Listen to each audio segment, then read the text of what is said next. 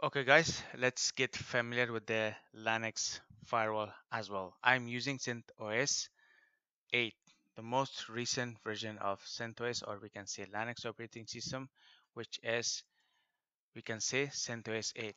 Uh, uh, let's do one thing, cat slash etc slash uh, cent,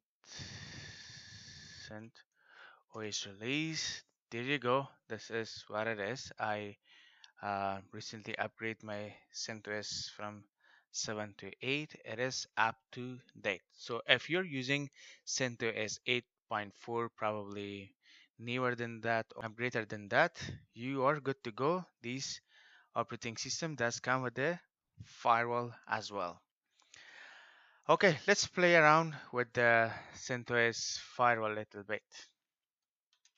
Ping yahoo.com yep so it is not necessary to ping, but sometime as a as a person who want to troubleshoot the Linux operating system, you probably need to make sure that there is what the system or the Linux operating systems are able to access what internet. Let's first see what is allow, what is not allow. Firewall is a command. I will definitely uh, leave the command uh, in the command section as well. Firewall, we can say we can see firewall list services. Okay, I am not using root user.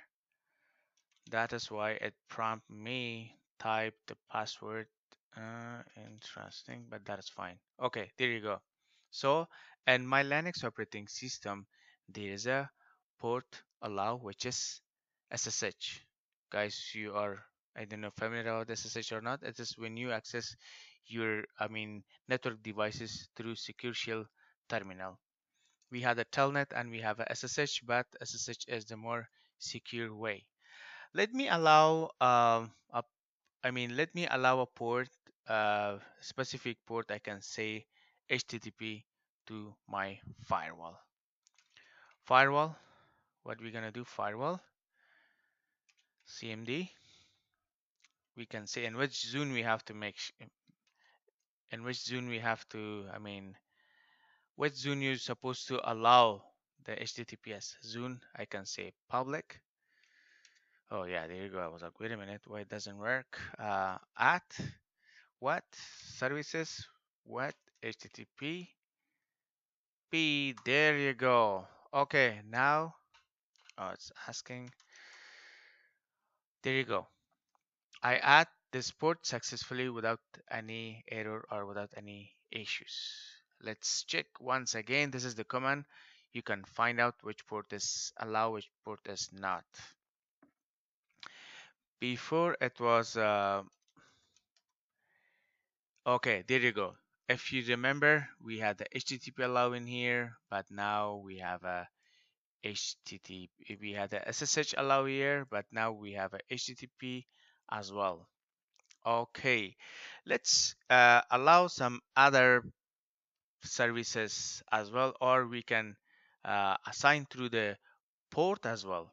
Let's see if we can do through the port as well and instead of services. We can say firewall, firewall, CMD, zone. We need to specify the zone other public, uh, public, at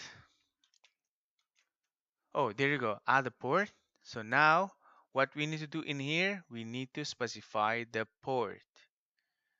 Great. So eh, in here, we need to specify the port. For example, we can say port 2 2020. Let's name it TCP. What do you think? So now I allow successfully. I allow port which is 2020 which is under TCP transmit control protocol. I allow it. Okay how to make sure that this port is here and how to make sure that the port is enabled? Back to firewall. Uh, we need to do firewall the same firewall CMD um, list Port, enter. CentOS. There you go. Now in here it shows that the port 2020 is enabled through the firewall.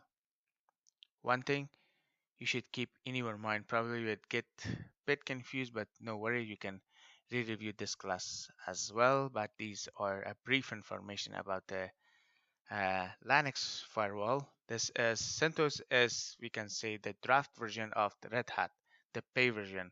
If you know this command, you can easily play with the Red Hat as well. Okay, I say that firewall CMD, we can say less ports.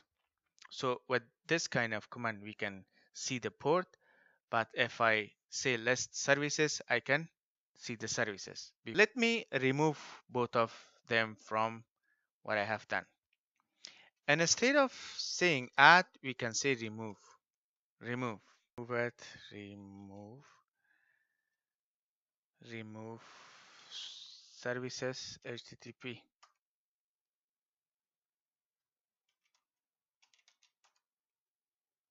There you go. Now let me check if it is still here or not.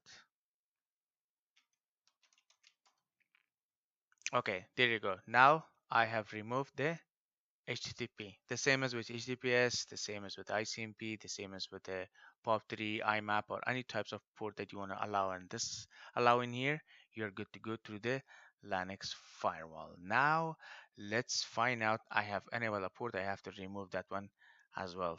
Remember guys? So list instead of service, I would say port. So I really need to, I really need to remove this port. So back, if I want to remove this port, the same way, firewall, uh, CMD, and we can say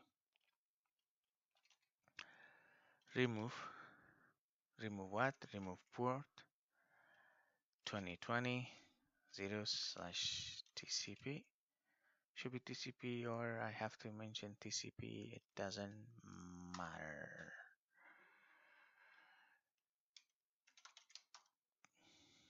There you go. Let's make sure that the port is removed.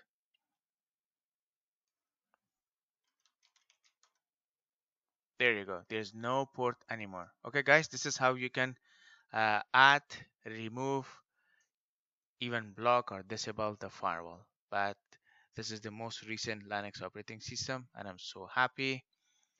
Okay guys, in the next section, we're gonna have a basic troubleshoot of wired and wireless technology and we are almost about to finish this course. I am so, so excited. Guys, believe me, what I have shared in this course is all in the production if you go in any company in any organization whether it's a profit or non-profit organization believe me just join and this is what is going on in the most of the companies see you guys there